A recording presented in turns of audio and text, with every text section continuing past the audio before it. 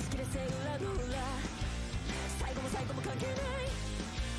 階段つかスタンダーどうにかしてきたんだ。狂ったストーリー全てが決まってたように。のべつ幕なしに異常事態。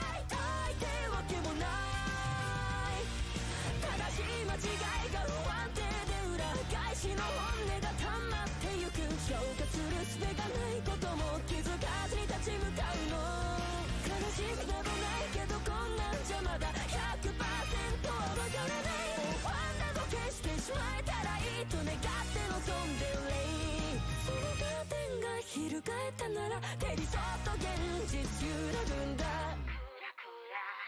身一つで生き抜いた土砂降りに固まる不平不満。逆行する世界もたまに味方となって。席と席に抗うの。サイコロ振っても平行線。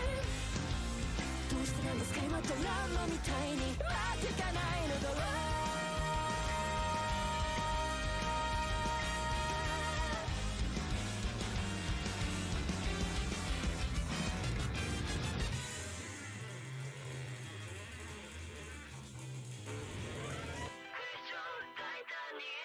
冴えないチョークで笑えたの頃のように特別はいつも目の前にある。相手わけもない日常寂しい言葉がフラッシュバックしてる。泣いてしまえたら楽だったかなどっち使って嫌になるな。守りたいものは何？